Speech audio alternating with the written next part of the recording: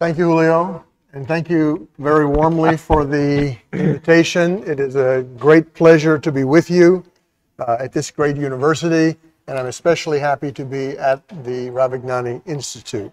Thanks to all of you for coming.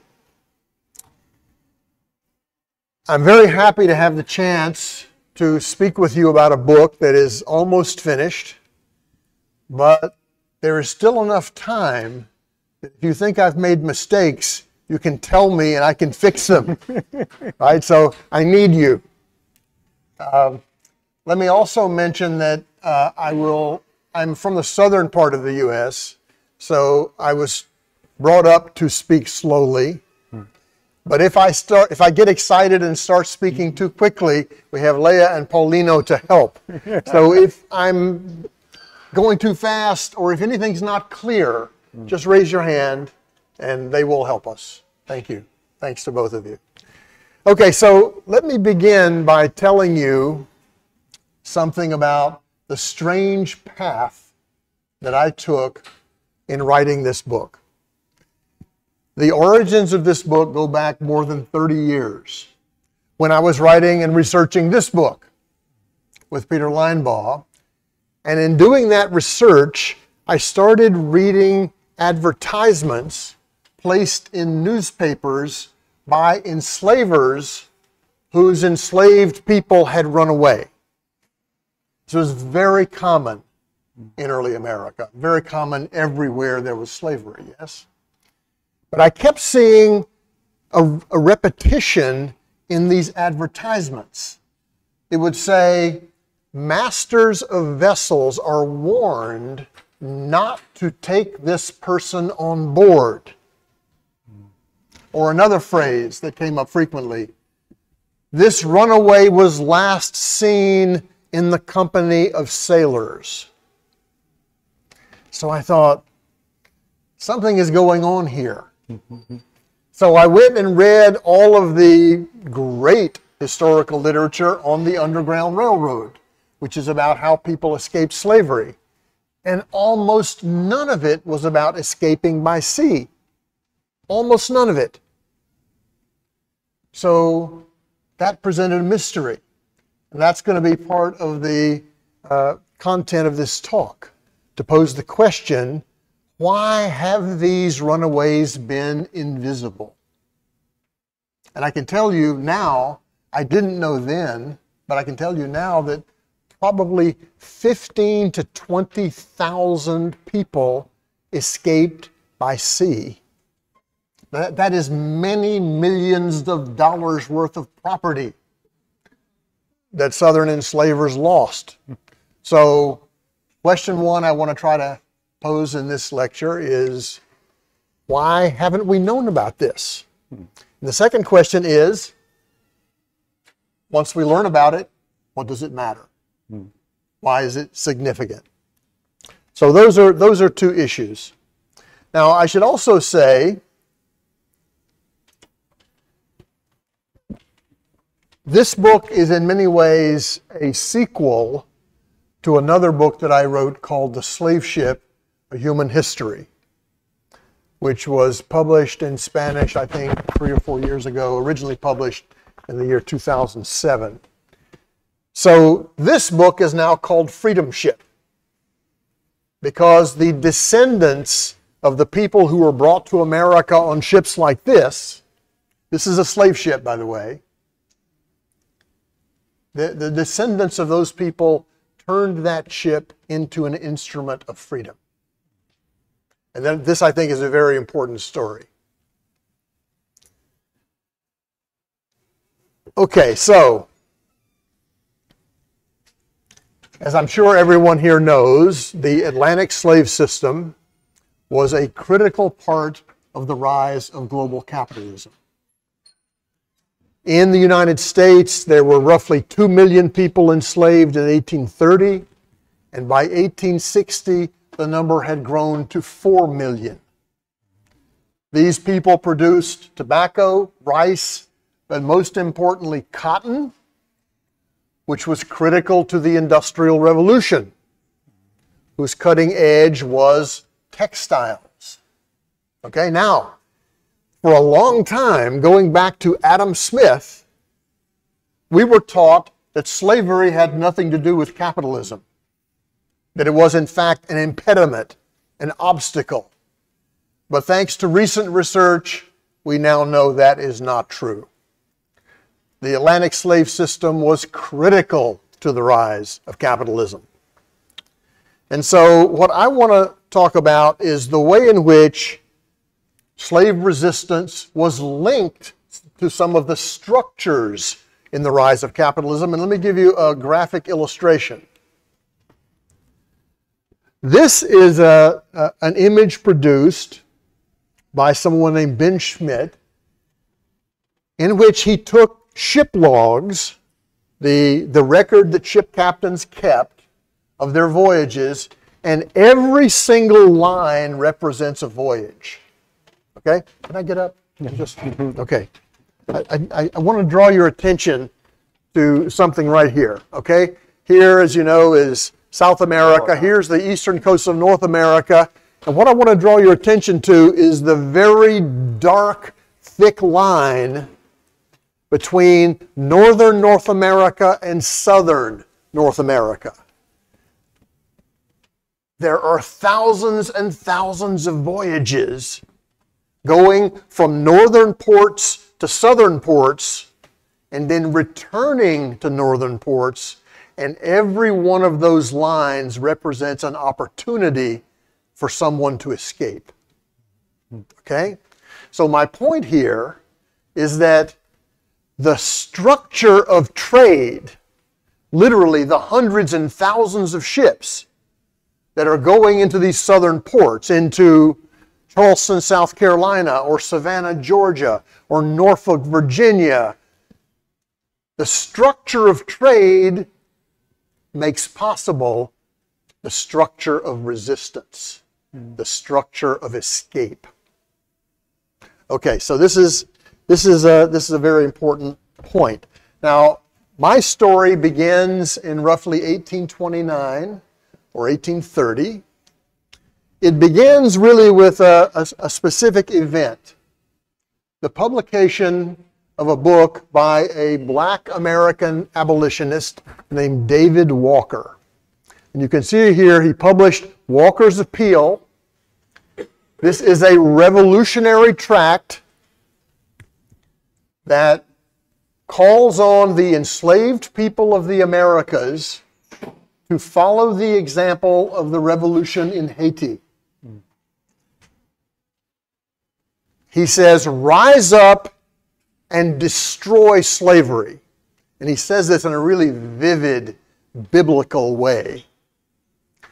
So this begins a new era of Atlantic resistance. Now, what's especially fascinating about David Walker is that he is a man of the waterfront. He has a clothing business. He sells clothing to sailors. So you see a group of sailors here on the right, and you can see a racist caricature of a black sailor hmm. at the left. But here's the important point there were lots of black sailors in this time period. Many, many black sailors. So, what David Walker would do is he would create a secret compartment in the sailor's clothing where he would put copies of his book. And then the sailors would go ashore in Charleston or Norfolk, and they would go among the enslaved people and say, Here, here, pass this around, here, here, here. To use sailors mm-hmm. to circulate the revolutionary message. So this is, a, this is a very important event. Partly as a result of David Walker's book, the 1830s becomes a period of extraordinary slave resistance. There are uprisings almost everywhere. Mm. A famous mm-hmm. one in the United States is Nat Turner's revolt mm. in 1831. There are other big revolts in Jamaica, in Brazil, mm. in many other places. Great Britain is abolishing slavery in its colonies in two stages, 1834 and 1838. So this is a period of tremendous resistance. And in this period, running away from slavery or sailing away from slavery acquires a new political power. Now, the enslavers who found David Walker's book in their own population, they were absolutely furious. So they started passing laws to make it impossible for black sailors to go among the slave population. These were called the Negro Seaman Acts. Every southern state passed one, partly because of the danger of the circulation of radical ideas, radical anti slavery ideas. So, so basically, my project is to study these five southern Atlantic ports uh, Savannah, Georgia, Charleston, South Carolina, Wilmington, North Carolina, Norfolk, Virginia, Baltimore, Maryland, all enslaved states. And then the four northern ports Philadelphia, New York, New Bedford, Massachusetts, and Boston, Massachusetts, which is where most of the vessels went. Okay, so this is the system. Mm-hmm. This is the Atlantic system. Okay, so I don't have to tell all of you porteños that port cities are something special. Mm-hmm. They're something unusual. Mm-hmm. They are really a special kind of place. In fact, I, I have some colleagues in Liverpool who say that the people who live in port cities have much more in common with each other than they do with people mm. in their own hinterlands yeah. because they're all cosmopolitan. They're accustomed to international trade.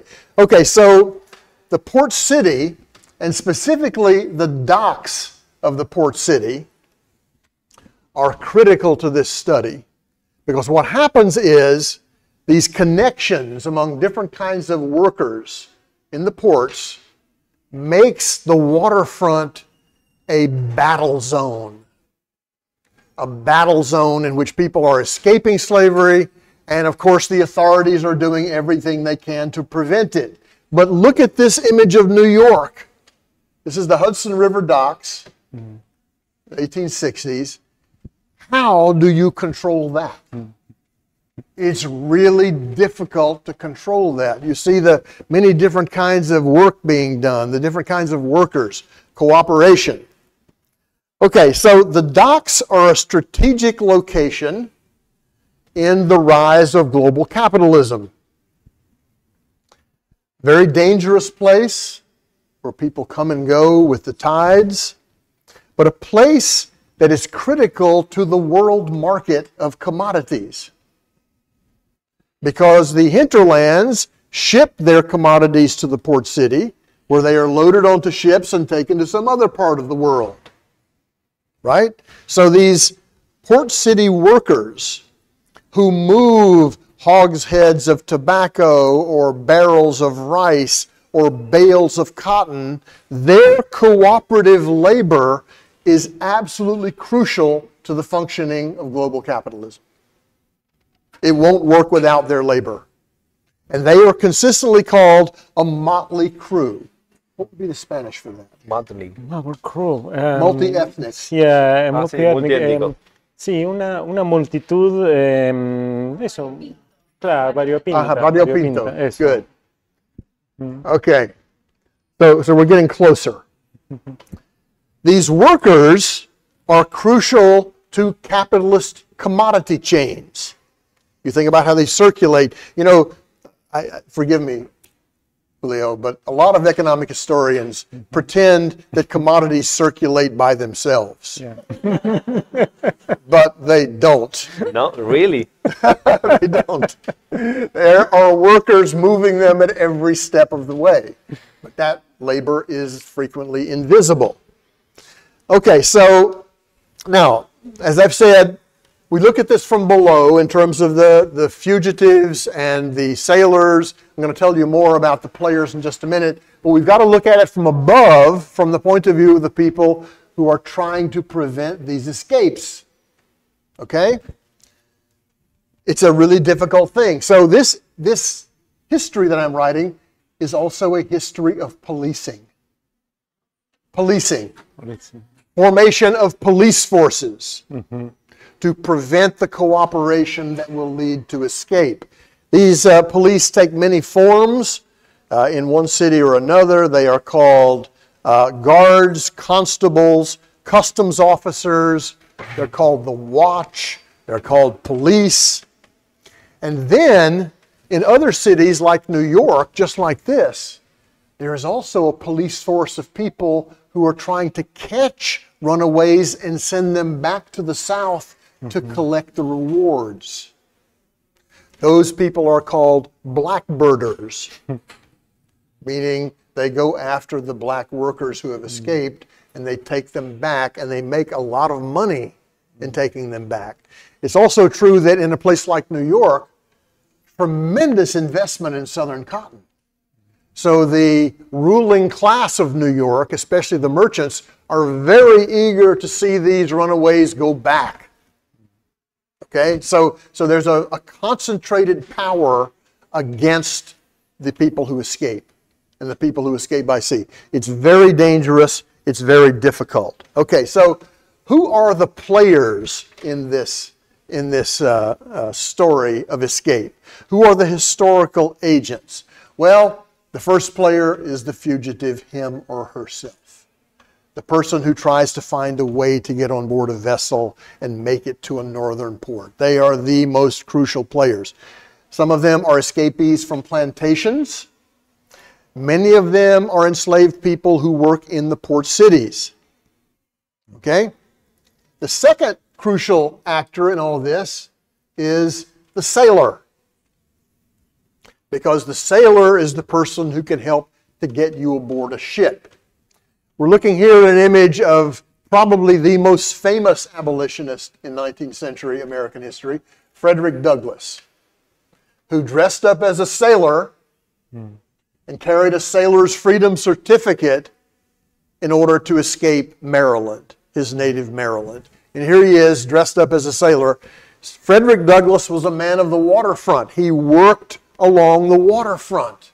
He was in contact with sailors and dock workers all the time. He was a skilled artisan. He was a caulker.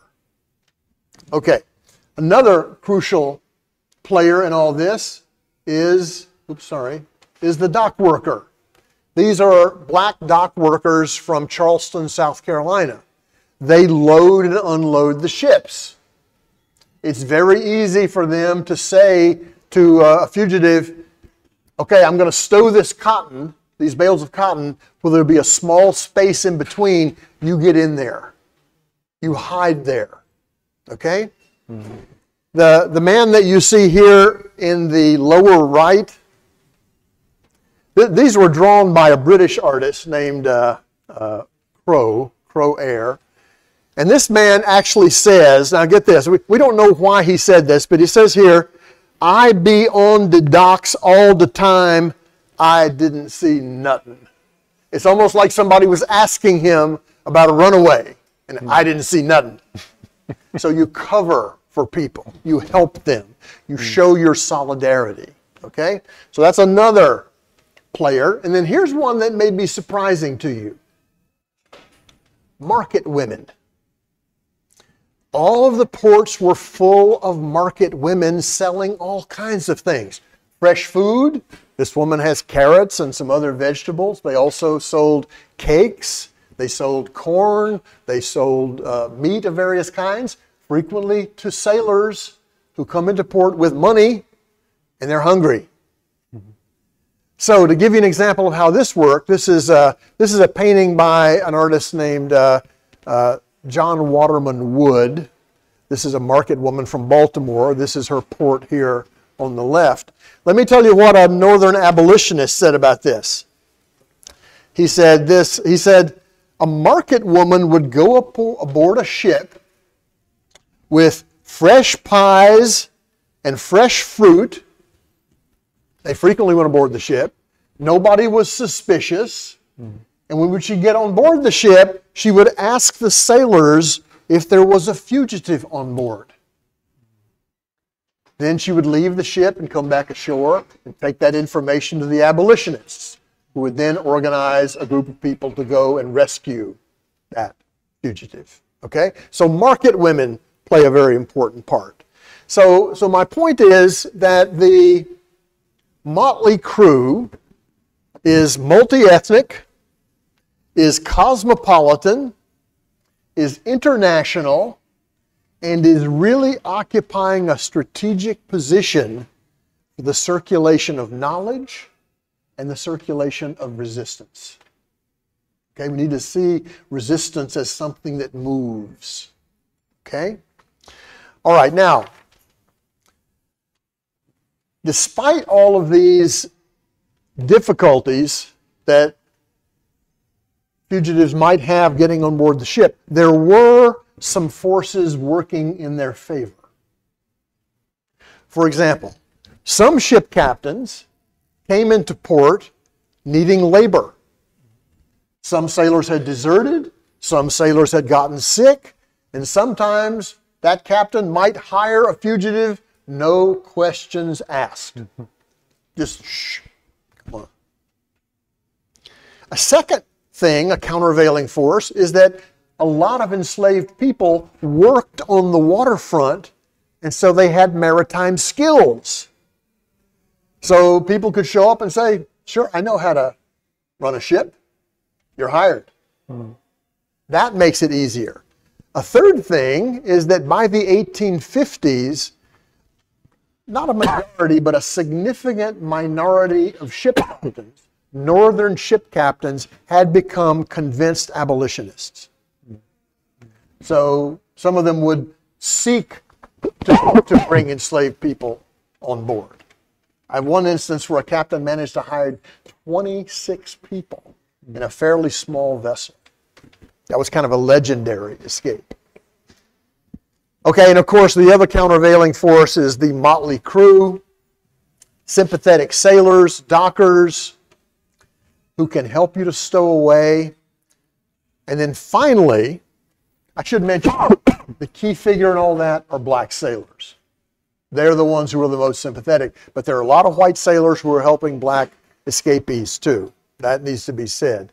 And then another point we need to know is that in both the southern port and in the northern port where the vessels are going, there is significant number of, of free black residents.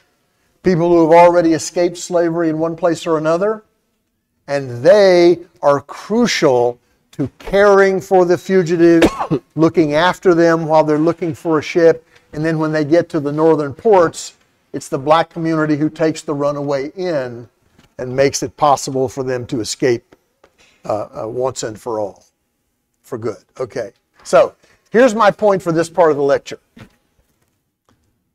Labor cooperation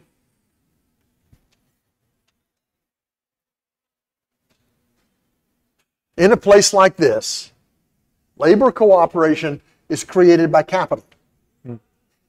These workers are brought together through the power of capital organized cooperation.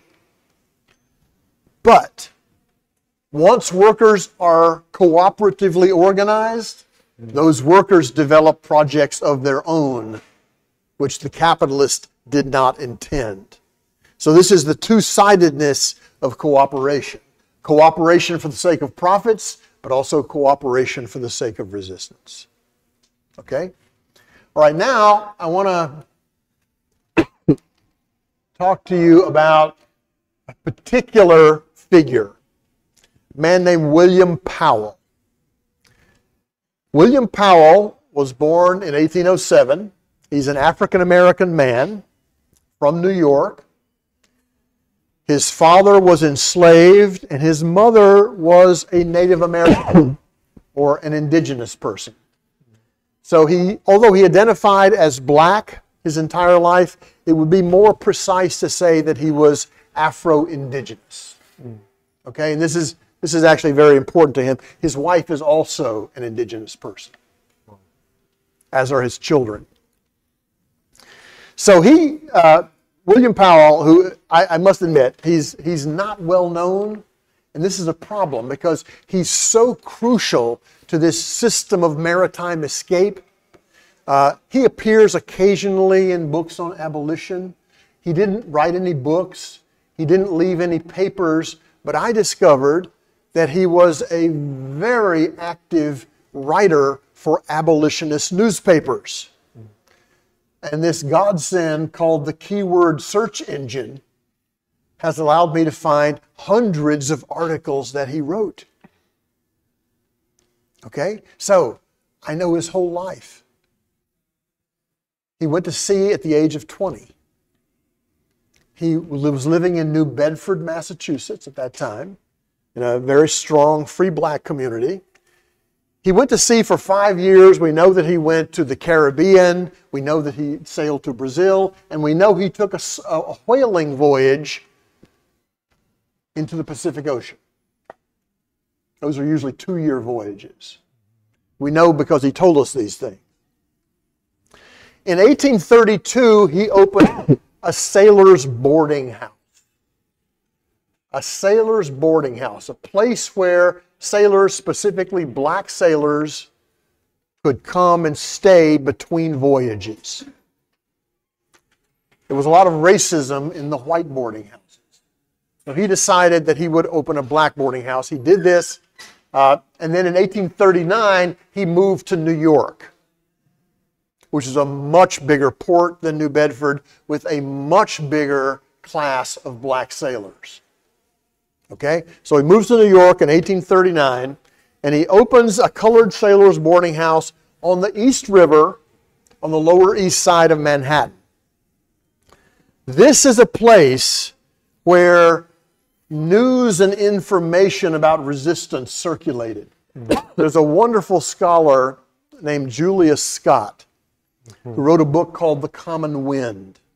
It's about the way the news of the Haitian Revolution spread by sailors. Well, the common wind blew very hot and heavy in William Powell's boarding house.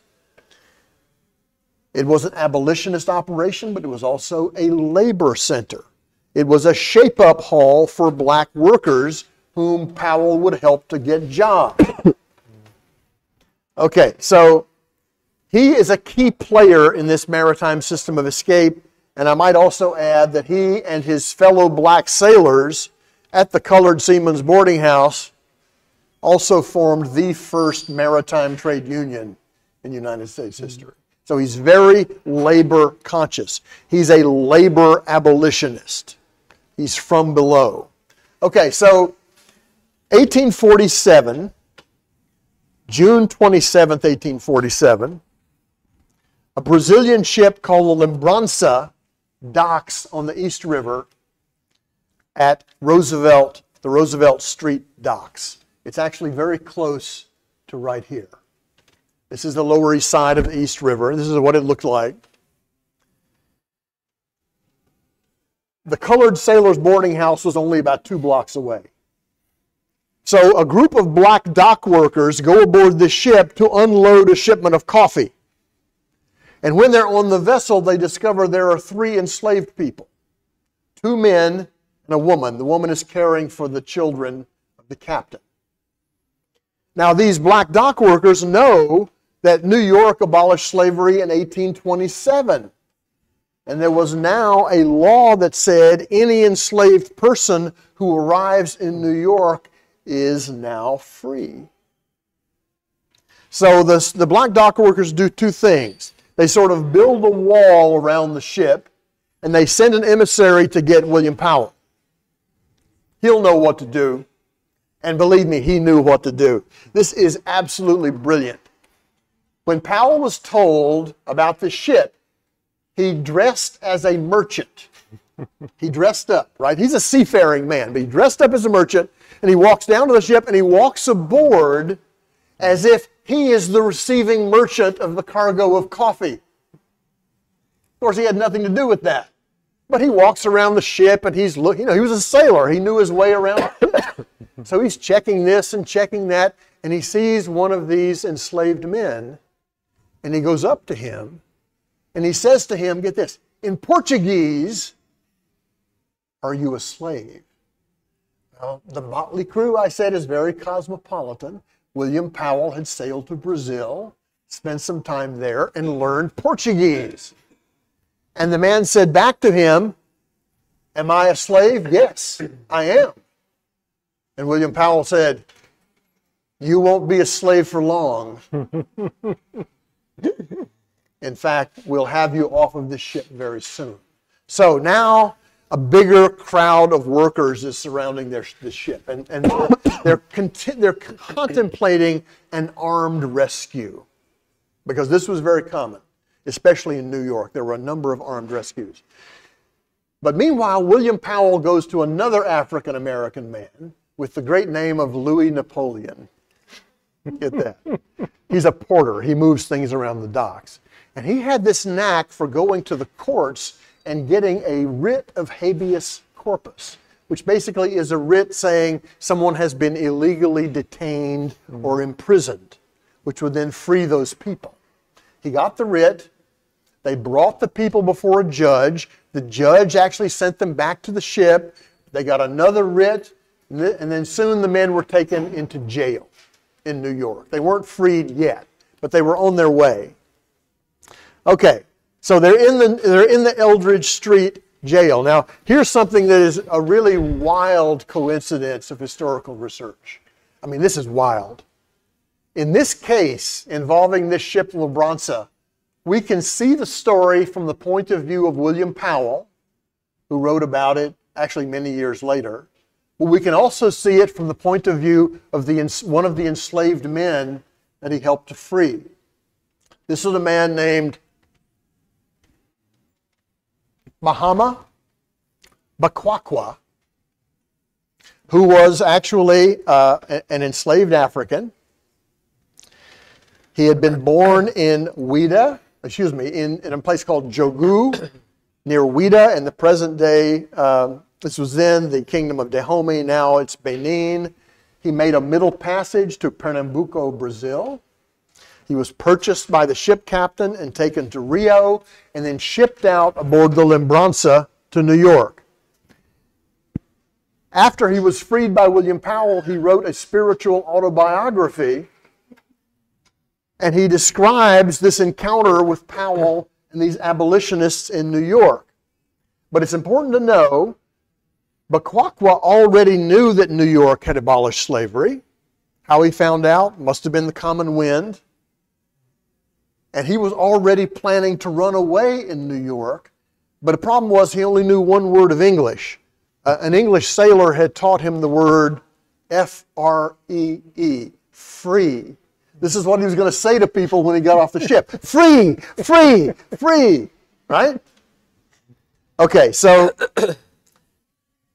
he published this book in 1854, seven years after the encounter. But let's go back to the jail. Okay? Mm-hmm. These two African men are in jail. The woman decided, probably under great duress, to go back to the ship, probably threatened by the captain. The men decided to remain in jail. Now, the next morning, the two men are missing. Their cell is empty. It's empty. New York City is abuzz with rumors. What happened? What, where did these men go? What happened? They said it must have been a miracle. And the jailer said they must have gotten into an underground sewer. Mm. Well, not, none of that is what happened. Turns out this was the result of a very well organized abolitionist plot. It turns out that inside the jail was a white abolitionist who had been locked up for debt. And the word was gotten to him that he must help these two African men escape. So, what does he do?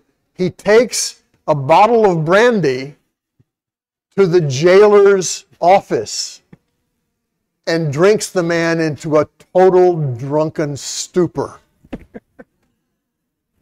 And then he takes the keys, he goes to the cell, he opens the cell, the men come out, he goes to the main door of the prison, he opens the door, they go out, and they get onto a carriage that is waiting outside with several abolitionists, including William Powell in it, and off they go to Boston.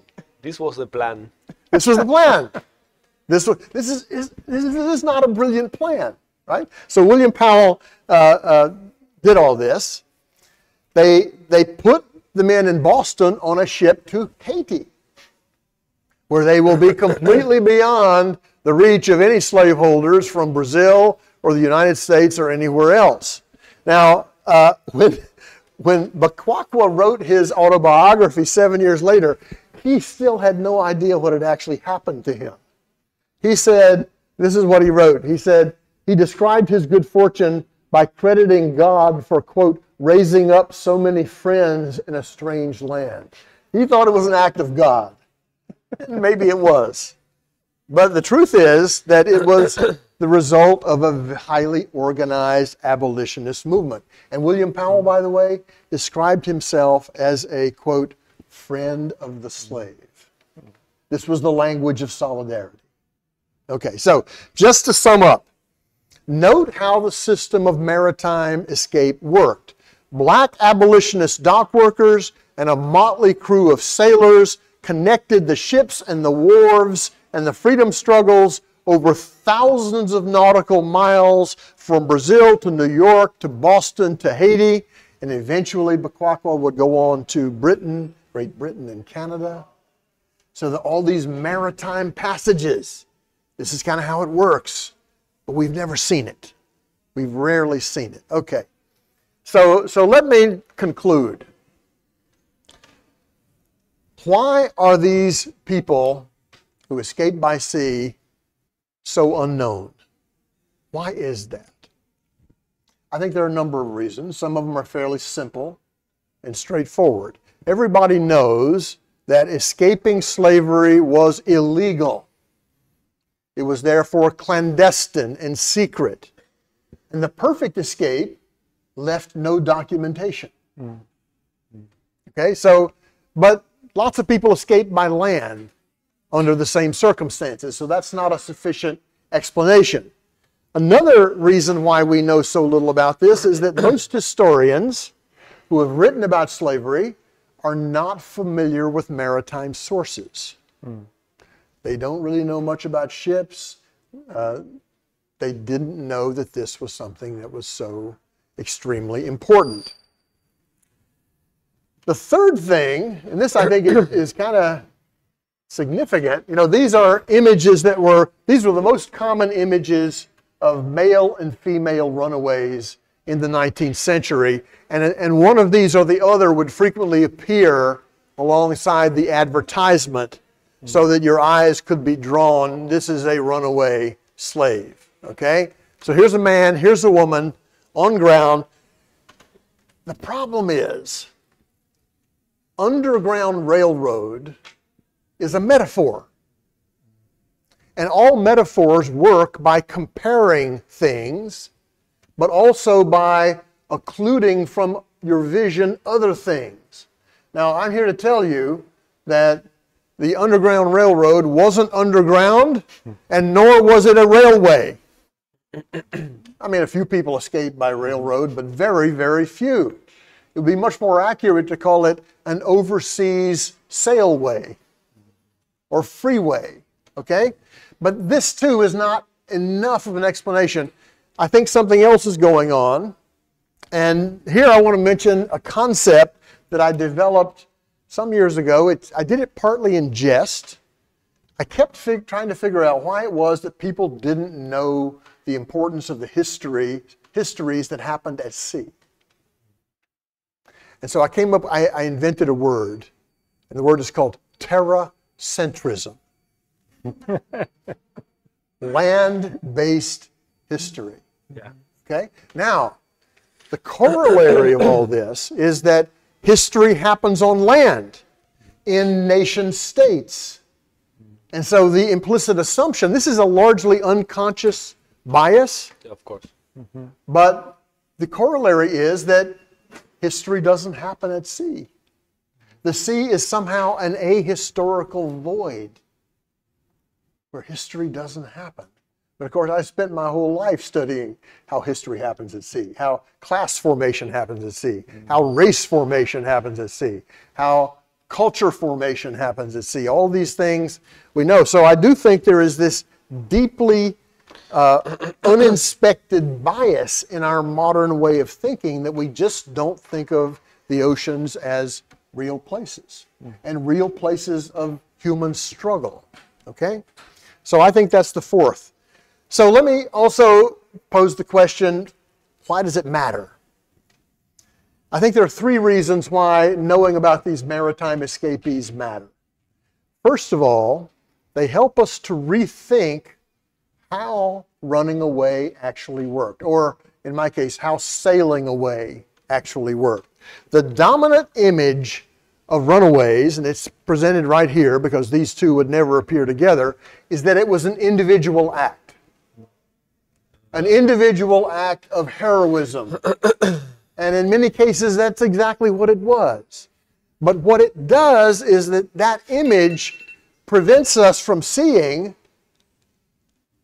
that running away was a collective process. Mm. You mm. couldn't really do it by yourself. If you tried, you were much more likely to get captured and returned to slavery, where you would pay the price with the flesh on your back. Runaways were almost always whipped brutally to terrify everybody else. So, but it's not only, folks, that it's a collective act it's a collective act within the maritime working class. It's sailors, it's dock workers, it's market women. None of these people are elites. They're not elites, they're ordinary working people, but their labor places them in a position to be able to do this subversive work. And very subversive it is. So we need to rethink how escape actually works and think about it as a cooperative and collective process. So that's one reason why it matters. The second reason why it matters, and I go back to an earlier point, one of the things that historians love to debate these days is the relationship between structure and agency. Right? Some people want structural explanations of how things happen. Other people want a more human centered collectivist idea of how people make change. This shows that those two things go together. That the structure of trade made possible the agency of resistance. So this locates resistance within particular structures of the rise of capitalism. I think that helps us to understand both things a little better, both the structure and the resistance. Yeah. And the third thing, this helps us to rethink abolitionism from below. Now, the dominant story that has been told for the last 200 years about abolitionism was that it was the wise work of enlightened gentlemen, products of the Enlightenment, middle and upper class men like William Wilberforce. I don't take anything away from William Wilberforce, although you should know that he wrote all of the anti labor legislation yeah. in late 18th century England. Uh, but now we see, and, and there's been a lot of work done on this in addition to my own, now we see that ordinary people have a great deal to do with this system of running away, which is one of the main causes of the coming of the Civil War. I call it, for the South, death by a thousand cuts. Because it was thousands and thousands of people who ran away. And those people, as they ran away, educated the Northern abolitionists about the nature of slavery. My former student, uh, Jesse Olsavsky, wrote a, a brilliant book about this that these fugitives who show up in the abolitionist offices, they explain what slavery really is. Most white abolitionists had never been in the South. They had never seen what slavery actually was. So they make it make it real for them.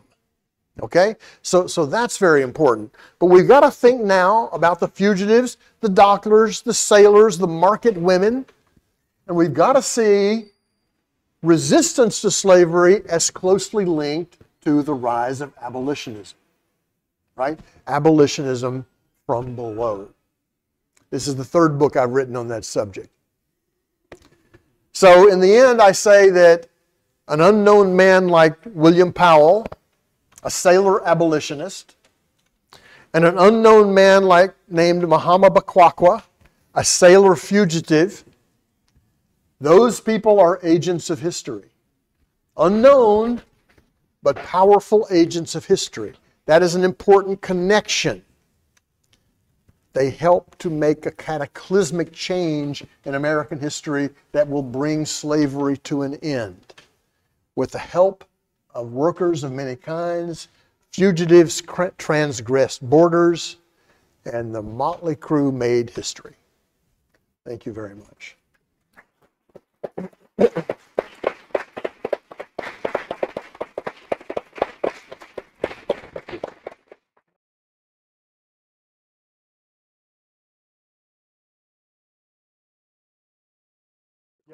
a lot, okay. a lot.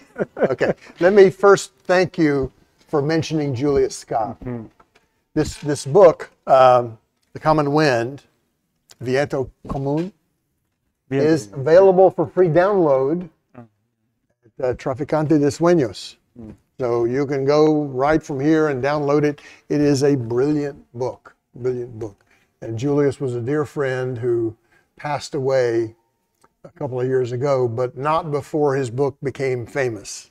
The book was unpublished uh, for 32 years.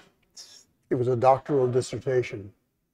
And we finally arranged to publish it with Verso, and it immediately won three major prizes, even though he didn't change a word of the doctoral dissertation. So I, am so pleased that you know about that book and that you encourage others to read it. I, I agree with you uh, completely. And this, this, my book is very much indebted to his. So, sources. Shall we, shall we get into sources? A big problem. well, if you write history from below, it's a big problem because Ordinary working people didn't leave many hmm. sources of their own. I dare say everybody in this room knows that. So, what you've got to do, if you want to do this kind of history, is figure out how any given society produces documentation about poor people. How do they do it? They do it through, in, in many, they use just some of the things that sources I've used. They do it through the census. Hmm. I can find William Powell's family living in New York in 1850. They do it through poorhouse records. They do it especially through court records. Now, this is complicated by slavery because enslaved people had no standing before the law. So they couldn't, the sovereignty lay with their enslavers who didn't have to take them to court to convict them of running away. They would just take them back to the plantation and brutalize them. Okay? But there are instances of sailors being arrested for helping enslaved people to escape. So those are highly revealing court cases. Right? And believe me, if you were a sailor, a black sailor or a white sailor, caught in the South helping someone to escape, you were in big trouble. So there's a lot of legal documentation. Then there's all the newspaper material. Uh, I had the good fortune to have research assistants who could go through uh, computerized databases of newspapers. We found about 2,000 ads involving maritime runaways. Now, that's actually a very small portion of the total because if someone got away by sea, and the enslavers frequently had an idea that that's what had happened, why put an ad in the newspaper in South Carolina when you know they're in New York? Right? So this is a very, but still, every one of those ads is a miniature history of an individual.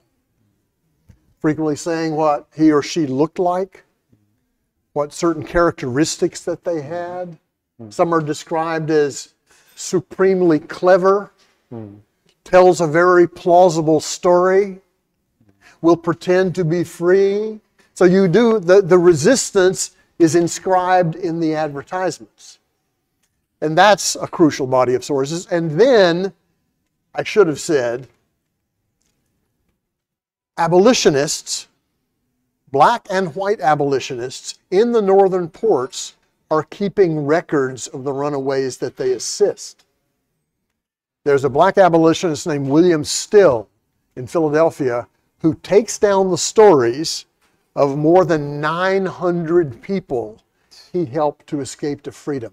And many of these people tell unbelievably detailed stories about their lives and specifically about how they escaped. Now, William Still, in doing this, was running the risk of prison because after the Fugitive Slave Act of 1850, it was a major felony to help anyone who ran away. So he had to hide these records in a barn, right? But then after the Civil War, he went back to those records and he published a big fat book called The Underground Railroad with all of these stories transcribed. And sometimes the stories that he writes down are maddening. For example, especially on the issue of women. He'll say things like,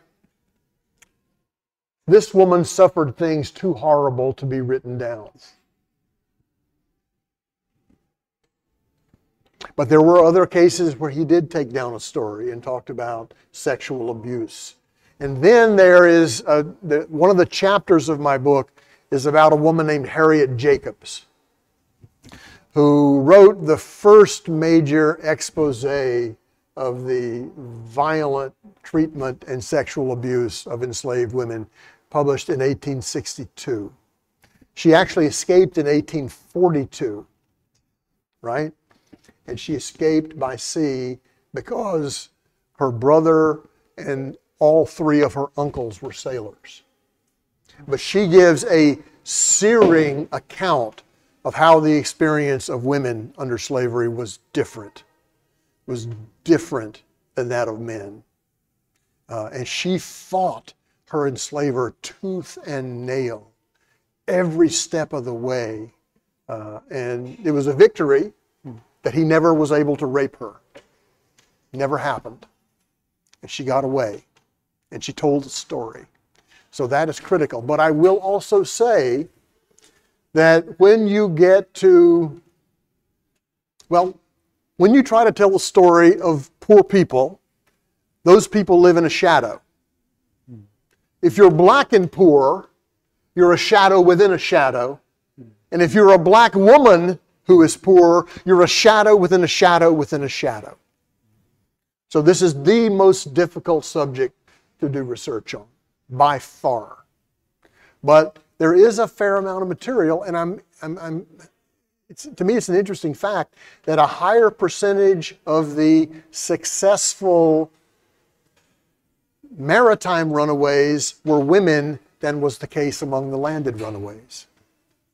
Partly that's because women wanted to go with their children. Hmm. If you have to take children over hundreds of miles by land, you're very likely to get caught. If you have someone on board a ship who's going to protect you, you get on board that ship and you step off the ship in a, in a free space, a free land, that's a much better situation for women, and, and women did take advantage of it. We also see the role of women in caring for fugitives who were trying to get on board the ships. There was a secret society of women this, this I think is fascinating. A secret society of women in Charleston, South Carolina, who were basically an organized society to help runaways get on board these ships. And that group still exists to this day. It's called the United Order of Tents.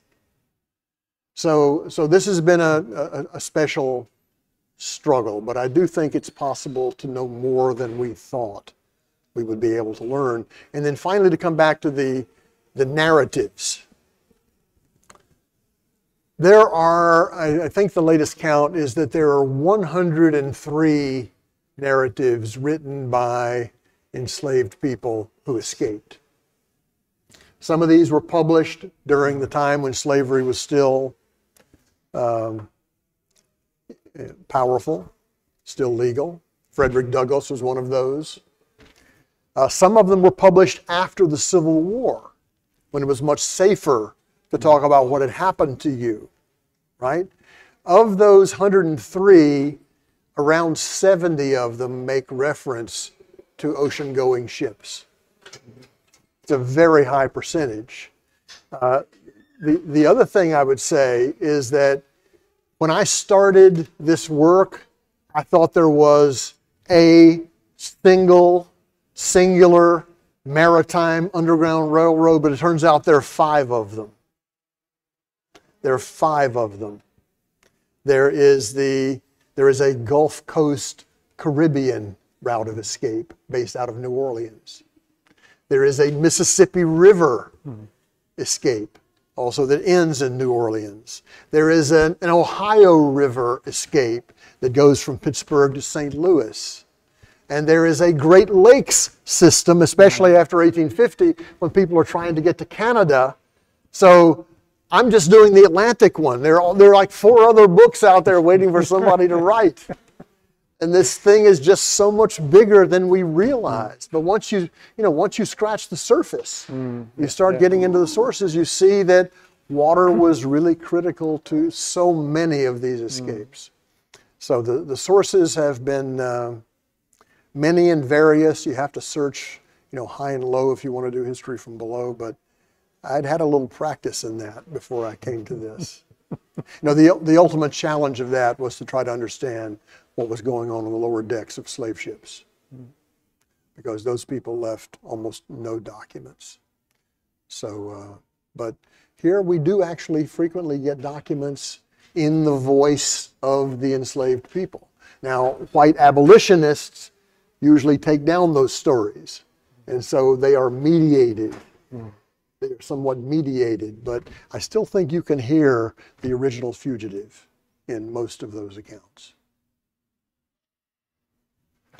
Eh, no sé si mm, eh, alguien tiene alguna duda con lo que mm, explicó Marcus. Creo que fue muy largo, ¿no? Pero, pero bueno, quizás eh, si necesitan traducción, en principio, I think that most people have, have understood you.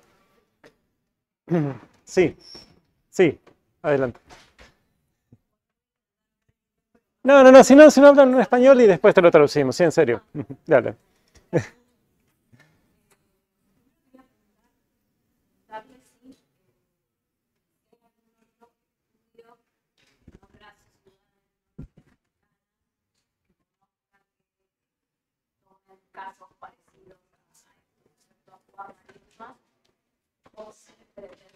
si alguien tiene intención de ampliar más allá de otras ciudades portuarias. Eh, después no, sé si, lo mismo, eh, a dos, estos barcos eh, jugaban y se quedaban trabajando en estos barcos en ciudades eh, norteamericanas o había alguna intención, por ejemplo, de volver a África, eh, algunos la idea era volver a África. Eh, y es bueno comentar que eh, bueno, yo rastreé la Cuba tanto en los avisos, en los procesos judiciales, de cada 1820 y 1830, y había encontrado un caso judicial de un esclavo eh, que era que había sido un esclavo de un inglés, un norteamericano, y que se fue justamente a. Okay. Se enrola también uh -huh. y eh, quería había dicho que era norteamericano y era un barco que iba a Cabo Verde, comercial, que un barco norteamericano. Y bueno, en una fonda se hace pasar por inglés, se contrata y después deserta en el mismo. Y está la judicial de al dueño igual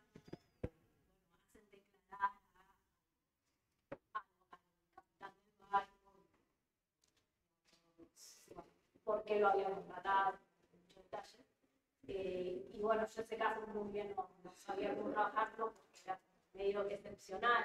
Acá en Buenos Aires, ya si bien hay, hay, hay muchas fugas, eh, no hay pocos casos donde aclaran que se van lugar. Y bueno, me llama, me, me llama la atención mucho ahora ver que, que no, no será tan común. Y justamente eh, Eh, Agus, un poco- para un poco para así podemos traducir, sí, por favor. That's a really long question. Yeah, yeah, yeah, very long. question is, um, have you looked at cases in cities that aren't US cities, for instance, cities that aren't US cities that you mentioned? And do you have the intention of doing that? That, that'd be one. La primera. The second one is, um, what happened to some of these people who ran away or stowed away on these, on these boats? Did they, did they remain working on the boats as seamen, and sailors? Um, did they stay in U.S. cities, or did any of them ever actually try to get back to Africa? Assuming, assuming they had been born in Africa, some of them. And then the last uh, comment was that um, Tina said that she has been working on following uh, runaway slave advertisements here in Argentina and also judicial cases. She came across one case in which there was a man, it was a case, it was aquí, en el caso judicial de mientras there was a case here in the, here of a man who um, had stowed away, uh, had run away, uh, who was originally, it was a boat that was había going sido de un inglés, un Ah, eso hablaba inglés. he had been he had been enslaved by um, a, a U.S. man and English, um, but he stowed away in a boat and ended up here, right? y en, en una fonda que creo que era la de los ingleses que trabajaba y también moreno que encargaba de la fonda, ahí él se contrata con eh, unos norteamericanos en la fonda, una fonda que creo que era la fonda de los ingleses, no me acuerdo. Ah? Sí, sí, Esa la parte de acá. Esa parte de acá. Se canta acá. Ahí se dice cuando se recluta el club. He went Ah, shit. I think so too. Yeah, yeah, I heard it wrong. Sorry. It was hard to hear from here. He was actually enslaved here for a British man. And so he, yeah, so he enlisted right on a boat, and that's how he escaped from here. And she was saying that she hadn't been sure how to interpret this case because it seems so exceptional. But now this helps to think about the broader context. Mm-hmm. And that's when I slave returned to Boston. So it's more interesting for, mm-hmm. because mm-hmm. one can think that he will be uh, up as far as, as he can from, from, the, Right. from the place. Yes. Right. Yeah, sorry. Okay. Um, yeah, I mean, the first thing I would say is that working at sea had been a route to freedom for a lot of people for a long time. The famous story of Olaudah Equiano, who uh, he was a man from uh, present day Nigeria uh, who gave an account of being shipped on a slaving vessel when he was around 11 years old. Olaudah Equiano worked his way to freedom on board a ship. And so this was very, very common. It's also true that a lot of formerly enslaved people, the only jobs they could get were on ships because there was no regulation, no guild regulation, no artisanal control. And so consequently, some enslaved people, formerly enslaved people, ended up working on slave ships. Horrible though that sounds. A few of them did it in order to return to Africa. But the people that I'm writing about were almost all born in the United States. The, the slave trade technically ended in 1808, although it went on illegally for a while thereafter. But these were people who, for example, were opposed to the colonization movement, taking people back to Liberia because they said, We built this country, the United States. This is our country. Give us our rights. We will stay here. We're not going anywhere. So, so there's a really a, a powerful feeling that um, that their labor had built the wealth of the United States. So I think that's uh, that that's one significant uh, point. Remind me of the first question. Okay. Yes. if I'd had 10 more years, 20, 20 or 30. I only spent five years on this book. Um, and I had to do only one of the five underground or maritime systems of escape. But yes, it would be fascinating to know because I do have individual cases of people escaping in Charleston and then going to a Caribbean island. Uh, I do have a number of cases of people getting on board a ship bound for New York and they go on with the cotton to Liverpool because that's where the Liverpool was going. So I think the same principle of following the routes of trade would lead you to find where people had gone when they escaped aboard the ship. But the great density of the body of evidence is for these North American ports. Uh, so I, I followed the other sources wherever I could, but it ended up being a much more North American story than I myself had expected when I began, but that was primarily because of the structure of trade. That's where the opportunities were to get out of those southern ports to a northern port. Now, uh, what happened to people afterwards? Uh, some became sailors. I found a couple of very moving instances of someone who ends up in jail in the South because he had told someone that he had escaped by sea several years before and now he had come back to get his family members. But they caught him. So some did escape by sea and remain a sailor and come back and try to do the same work of resistance. Uh, many, many more tried to get other jobs on the waterfront. The safest place was Boston or New, or New, or, uh, New Bedford. The New Bedford free black community was unbelievably militant. They would kill slave catchers. They would kill slave catchers. And slave catchers knew it. And they didn't want to go there. And Boston, because it had the strongest abolitionist community, was also a relatively safe place. But in 1850, when this fugitive slave law made it legally binding that northern people had to help assi- help return slaves to the south, runaways to the south. A lot of people even left New Bedford and Boston to go to Canada because slavery had been abolished in the British Empire.